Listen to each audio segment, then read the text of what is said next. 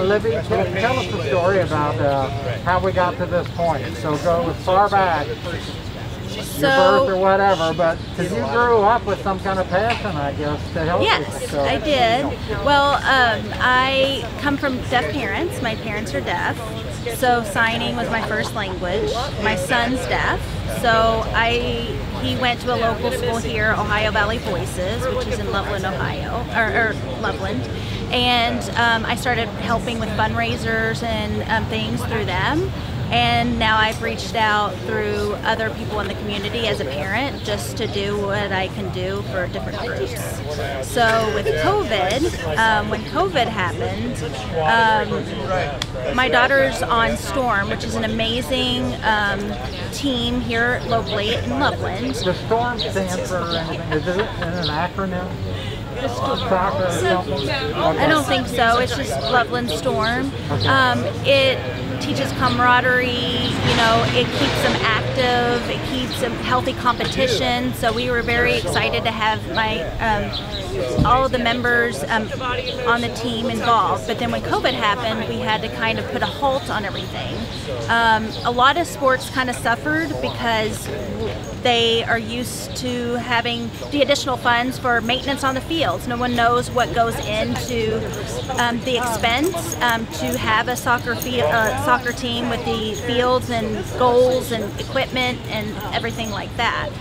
So then we thought, let's do a fundraiser, um, but we don't want to ask for money because um, asking for money in um, a direct way is very difficult because everybody's kind of hurting right now due to COVID. So then we thought, why don't we do a fundraiser that gets the community involved? Um, it helps Storm in some way, but it also helps multiple people within the community. So um, we um, checked with RP Diamond. RP Diamond has helped with fundraisers in the past, and they will work with you on different shirts and different things. So um, we were able to go through them for the shirts, and that's how we came up with the spirit wear for the race. And then we decided that whatever we donated, so we'll, we had a set fee for each race member um, so that um, we could use those funds for our fundraiser and for members of the community. So we decided to do a race because it gets people active. People are motivated to go outside and walk and run, um, and we could do it virtual. So we gave them a week um, to do this 5K. So you could go anytime between Sunday to Sunday, and you had your your shirts that you ordered when you uh, registered, um, and that's how we kind of came to getting these ideas together. And then now we have the funds um, and some of the proceeds going to the community. To, because it's a Loveland Storm team, since we're part of a small community, all of our kids and adults wanted to help others within the community at the same time. And as I understand, the, the, the money is going to the Loveland Foundation. Is that the name? Legacy Foundation? Legacy Yes. Foundation. hmm But then part of it is going to Mile Mile 42. 42 Coffee. Yes. And they are going to set it aside or put it into an account for coffee for teachers. Correct. Because teachers are struggling right now with going back to school and they're doing ex- the extra load. So, as a courtesy or as a thank you to the teachers, there'll be an account there for um, complimentary coffee um, for all Loveland teachers um, until the funds run out. I probably need to ask them how a teacher does that. Do they just come in and say, I'm a teacher? Or... Yes, we're going to go figure that out after this um, interview. Okay. And make sure that you send that back to me if I forget to even ask over there. Okay, I could Uh, definitely get that Yeah, information to you. It'll take me a couple days before I publish it, Mm-hmm. but if that's figured out by then, that's an important part of the story.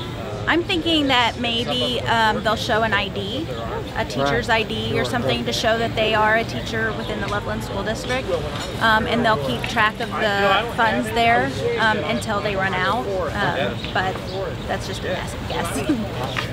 So, uh, Bruce was telling me about part of the uh,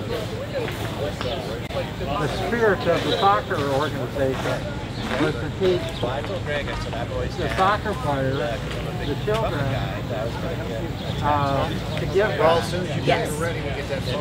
part Yes. of the community. But they got that from somebody, and I expect you're a big part of that. So where did you get that? Well, you know, the only thing I, I don't.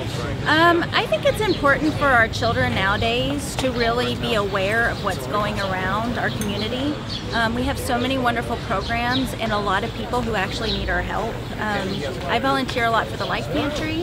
Um, I'm a pantry pal. I don't know if you've heard of that, but we're assigned a family that we um, really make sure that they get what they need, and um, we deliver food every month to the families that can't drive or are, you know, restricted because of COVID and things like that. And I think um, for a team, you know, um, I think there's so much stuff that comes from sports, um, um, physical activity. Um, um, just being a part of a team and just really enhancing those skills. But when the team comes together and really thinks about how they can impact the community in such a big way with little, they don't have to do much to make a big impact. And for them to be aware that um, these little things add up and really support our community is a really good lesson for kids in our different age groups to learn so early on. So that's kind of what we're trying to implement and we want to become more and I think by doing that because we're all a part of Loveland it makes her a strong knit community.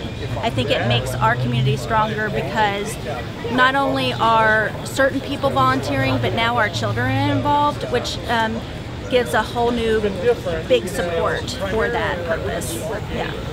Yeah, Libby, thanks a bunch for Yeah. spending some moments with me and telling me the story. Yes. I really appreciate it. Good luck. Yes, thank you. Besides that, thanks for, for doing this for the community. Of course, we are very happy to do it, and we hope to do more in the future. I don't think this is the end, and if anything, since we just started this, I think that if we continue to build on it, this could become really big in the future. So I'm hoping this will continue yearly. So, yeah, yeah. Nice to meet you too.